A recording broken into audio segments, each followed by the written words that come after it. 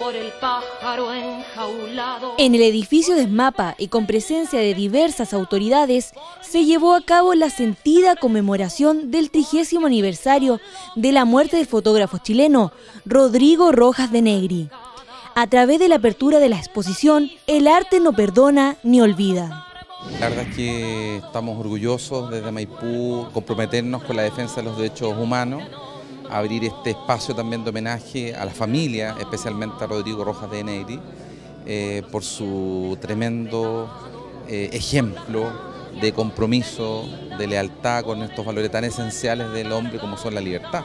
Realmente eso nos muestra la importancia que tiene que en este país haya justicia, porque este país no perdona de que a 30 años que Rodrigo fue quemado vivo, aún no haya justicia y que todos los criminales, desde los altos mandos militares, estén sueltos.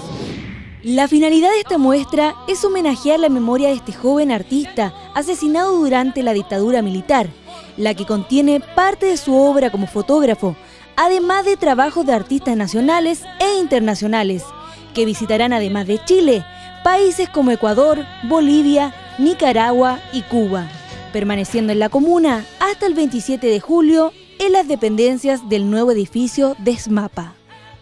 Para nosotros es importante el que esta muestra parta en nuestro país y parta en un edificio como es SMAPA, que es eh, el agua potable, que en el fondo es de todos los chilenos. Lo encuentro que es algo bastante importante y relevante, y por todo lo que vimos hoy día y por la, por la exposición misma.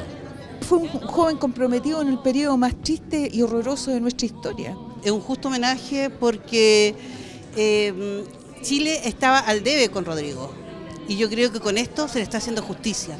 Con este tipo de iniciativas, Maipú reafirma su compromiso con la defensa de los derechos humanos, generando sin duda nuevos espacios de diálogo sobre el legado de miles de compatriotas que lucharon contra la dictadura militar.